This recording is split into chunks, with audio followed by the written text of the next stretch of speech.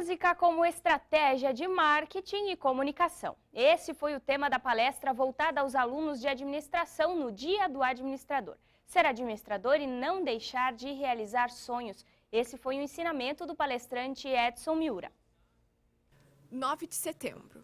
A data homenageou os administradores no Brasil, profissionais responsáveis por gerenciar alguma organização.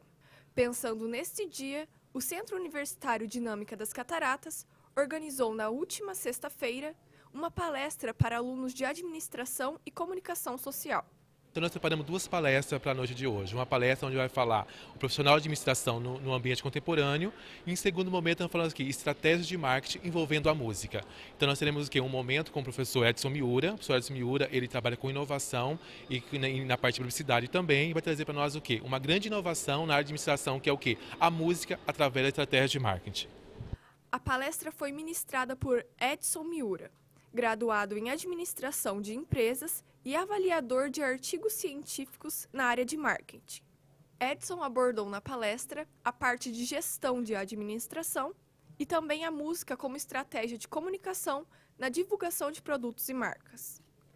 Bom, a, a palestra, ela como pega tanto a parte de gestão como a parte de comunicação, né, interna e externa, é importante para que os alunos é, estejam fora da sala de aula, né, é, vivenciando conhecimentos né, é, práticos e que também a gente traz de outras áreas, né, como a parte de tecnologia de informação, né, comunicação, na parte das agências, a gente trabalha muito com, com comercial de TV, né, a parte de música mesmo, né, como jingle, spot, trilha sonora. Então a gente faz um apanhado geral para que eles tenham um pouquinho mais de conteúdo né, prático né, fora de sala de aula.